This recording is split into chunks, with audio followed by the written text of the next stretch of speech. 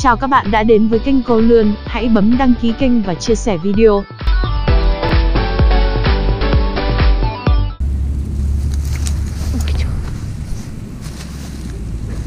Một con ở đây bắn.